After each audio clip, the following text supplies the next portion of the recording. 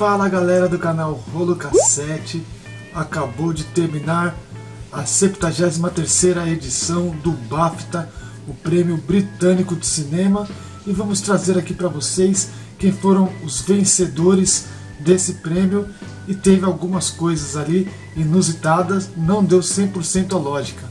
Então venha com a gente conferir. Vou falar primeiro aqui para vocês as lógicas que deram na premiação, porque aí fica mais fácil e depois no final vamos falar alguns filmes que surpreenderam. Para as atrizes, deu a lógica, Renée Zellweger venceu como melhor atriz no filme Jude, Muito Além do Arco-Íris, e a Laura Dern venceu como melhor atriz coadjuvante pelo filme Histórias de um Casamento. O filme Histórias de um Casamento a gente falou no canal e vai ficar aqui nos cards como opção para vocês assistirem. Os atores também deu a lógica. O Brad Pitt venceu como melhor ator coadjuvante pelo filme Era uma vez em Hollywood. E o ator Joaquim Phoenix, que é o ator que está muito bem esse ano, venceu por Coringa novamente, já tinha vencido o Globo de Ouro e demais premiações e provavelmente leva o Oscar também para casa.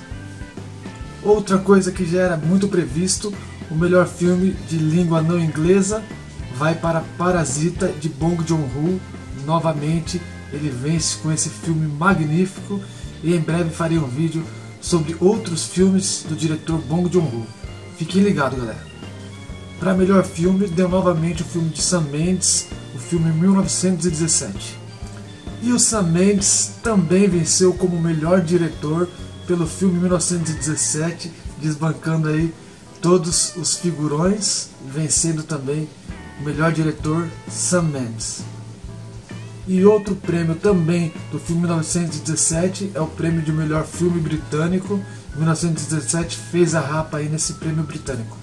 E o Coringa venceu mais uma vez, além de ter vencido o ator Joaquin Phoenix, venceu como melhor canção original. Então o filme de Todd Phillips vence mais uma vez. Para melhor animação, vence a animação da Netflix Klaus. Não tinha ganhado o Globo de Ouro, então aí já muda um pouco o panorama e Klaus vem forte aí para a disputa do Oscar. Para melhor fotografia, Roger Dickens vence com 1917, fazendo a rapa aí o principal campeão do BAFTA.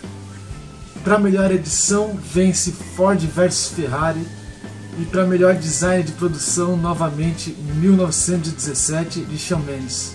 Melhor direção de elenco fica para o filme Coringa, Todd Phillips. Melhor figurino fica para Adoráveis Mulheres, um prêmio aí que alguém diferente leva dessa vez. E melhor cabelo e maquiagem fica para o filme O Escândalo. Para melhor som, 1917 novamente e também para melhor efeitos especiais, o 1917. E de melhor roteiro original ganha o Bong Joon-ho pelo Parasita. E o que mudou também, o que é diferente, a gente vê uma vitória de Jojo Rabbit pelo melhor roteiro adaptado.